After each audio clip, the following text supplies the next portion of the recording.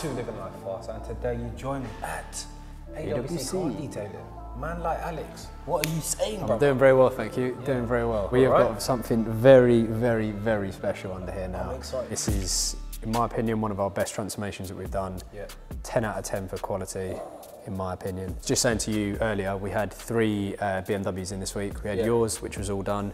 We had an M3 over here in uh, frozen finish from factory, Yeah. and then 340 in that was frozen from factory. No difference at all between the quality from all three, which is sick. wait, so, and this is literally just a X called XPEL Stealth. It's Yeah. a PPF. We put it through the database, put it through the plotter, apply it onto the car. Takes about five days, and Sick. the rest is history. People that are new, Mm-hmm. AWC Car Detailing. AWC Car Detailing, based in Essex. Um, this is my 10th year in business, so started quite young, but built up a, a really good, yeah, 13. 13 if you've seen the videos before. Built up a really good kind of cultured business around uh, protecting cars with XPEL PPF, detailing, mobile valeting, detailing training, the full shebang.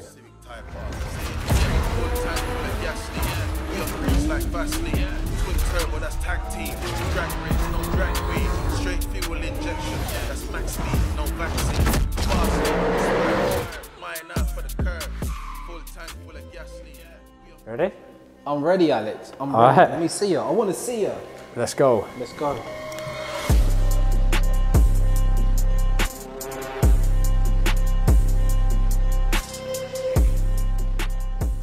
Looks unreal, doesn't it? Yeah, that is mad.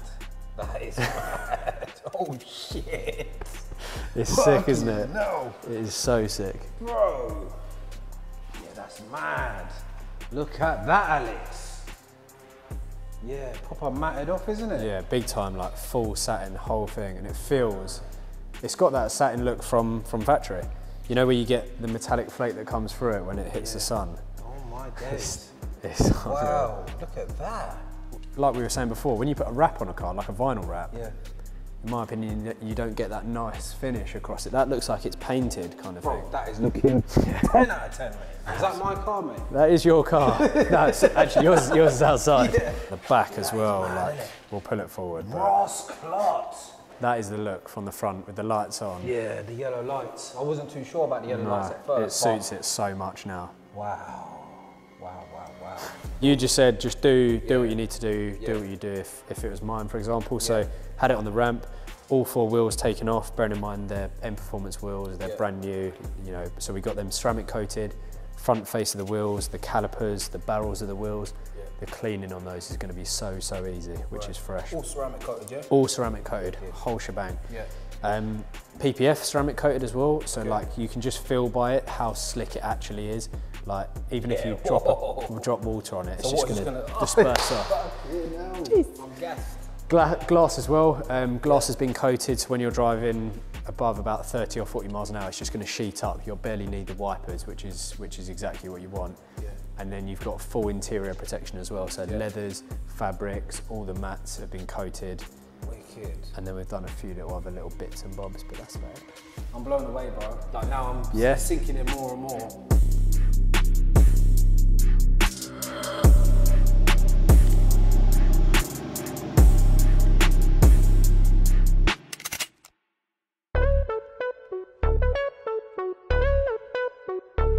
So guys, we are in the LLF Games unit, and for those of you wondering why I've not been making content, take a look how many cars are in here. This is what I'm on every day of the week. It's getting a bit hectic. Some of you probably remember I was doing one car a month. I then started doing one car a week, then two cars a week. Last few weeks I've been doing four competitions a week.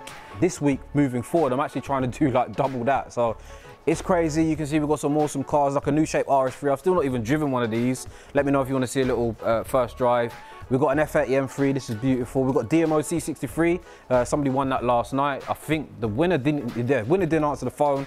We've got Golf, check out this Scooby here. This is a uh, Type R, I think WRX, I don't think it's an STI. I'm not too sure on my Jack cars, guys, but it's got a 20 dB kit. It's running four 450 horsepower, it costs a lot of money. This one's going up on the website soon. Apologies there's not been any regular content, but I promise you there will be a proper, proper return. I feel bad, it's been literally two weeks of no content. But yeah, this is what I'm doing, man. I'm just trying to pattern this shit so that I can come back and really show you what time it is.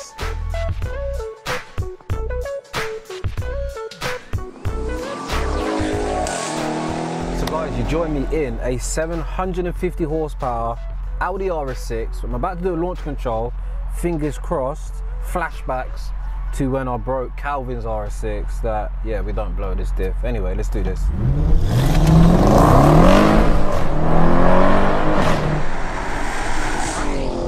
So this is an ABT RS6, obviously 4 litre V8, twin turbo. Uh, Stacy tuned by MRC, so up by about 200 brake horsepower. And this is my genuine first impressions. Ooh, that is a serious kick, isn't it? Let's throw her in. RS6s are just.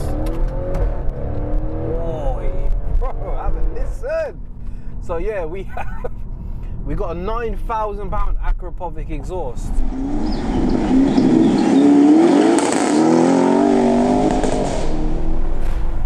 Wait, the brakes feel amazing. So yeah, we've got a nine thousand pound Akrapovic exhaust.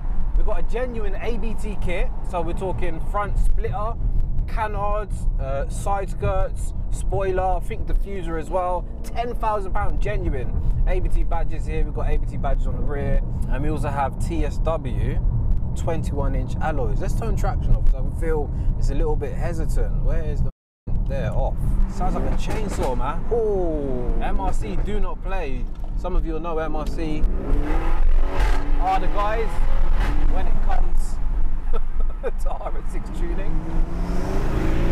So just a summary, the car's had literally £30,000 in aftermarket modifications, had £10,000 in optional extras from factories, finished Sonado grey, we've got the flat bottom wheel, obviously 4 litre V8, twin turbocharged, as I said, £9,000 Akrapovic exhaust system, Stacey tuned, it's an absolute flying machine, she's on the website, you can win it, the competition ends tonight.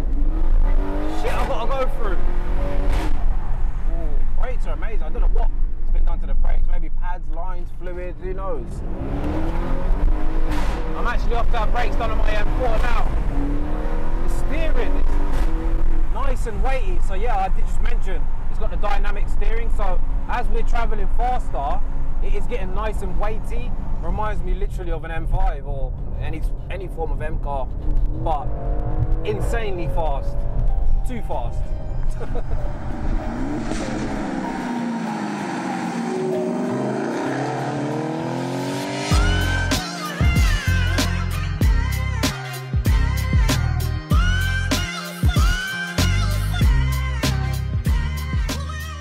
Suspension Secrets, guys. So um, just a quick update. Took it for a drive last night, a proper drive. Yep. And uh, yeah, even on the streets. I mean, a little stiffer than I thought it would be. You probably see the video. But yeah, track day is going to be unbelievable. Cool. Another bit you mentioned was brakes. Yeah, the G82 as standard comes with a massive caliper, big rotor, so you've got a pretty good bit of kit sat there already. Yeah. Um, unless you're going down like the carbon ceramic route and you're looking for lightweight, then in terms of steel, these are pretty good. Yeah. So where they fall down is is the pad of the lines and the fluid. We're going to start with some uprated Pagid RSL29 pads. Mm-hmm. So an uprated compound that can take the heat. So when it's getting up to really high temperatures, they're not going to fade. They're going to keep the bite and they're going to keep the consistency. Then the next step is you're going to be generating that heat. So what would fail next is your fluid would boil. So it, standard fluid wouldn't last as much when you're really pushing hard and generating loads of heat. So we're going to uprate the fluid um, into a, a racing brake fluid that can take the heat and boil at a much higher temperature. What fluid is it we're going to? This is just H- HBF 320, uh, so it's 710 racing brake fluid. Your brake lines are then going to be the next part to fall.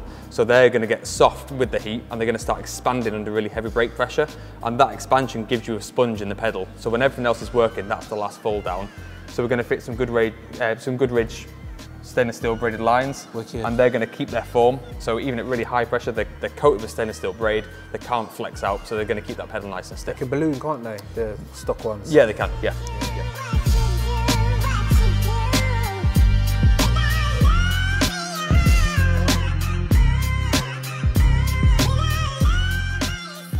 So obviously recently we had a load of carbon fibre installed by Auto ID. Two mods that didn't turn up were the carbon mud flaps. So you can see these. Hopefully it'll make the car visually look a bit better. Also got the M Performance style carbon fibre tips. Another thing I forgot to mention to you lot is I've had these side skirts body coloured. So this was all black before. I've had it skyscraper grey. Obviously I had it done before having the car uh, PPF'd. There's quite a few people mentioning about the wheel spaces you fitted when you're left here. Yes, Uh, yes, so it's probably worth mentioning that, A, we did discuss it off We- camera. Um, we did, yeah. so What's your thoughts though? it depends what you're doing with the car, ultimately. When you fit a wheel spacer, say we've set your camber and your toe, for example, fitting a wheel spacer doesn't affect that because we've set the angle of the hub. So your wheel's here like this and you're just literally moving it out. So the angles aren't changing. Yeah. What it does affect on the front is something called scrub radius. And that's where you've got to be careful about going too thick on the spacer. Um, but something like this has a minimal effect, especially on a, on a road car. Believe it or not, guys, I am planning to get a lot more hands on this year, and we're going to start off with Ricky's first modification, which is the inner line of the arch. As soon as we put the spacers on, uh, it's actually been catching on the inside and it's making a horrible sound when I lock it when I come off the drive. So, did they call these pliers or something? I don't know. We're going to just snip these off. Yeah, boy. What's that? Mod number one? Second modification. Number two, I'm hoping that that may stop the rubbing. You see that there? I'm left-handed, bit of a spacker, lads, I'm not gonna lie. See the finish on that? Smooth. Look at how sick that pad looks behind that caliper. Wow, 20, 30 BHP just there, lads. Wow, look at that, guys. Nice upgrade there, boy. I mean, definitely exhaust coming at some stage, but for now, can't go wrong with that, man. Carbon tips. But we also had these corner trimmings that were gloss black before. This is now body coloured.